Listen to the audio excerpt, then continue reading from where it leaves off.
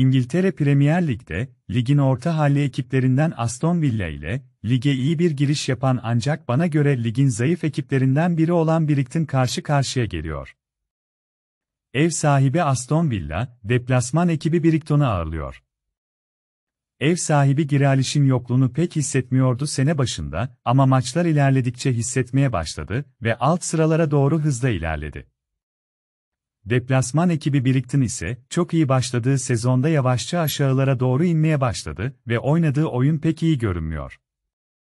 Bu mücadelede ben kadro kalitesine inandığım ev sahibinin zorlansa da galibiyet alacağını düşünüyorum.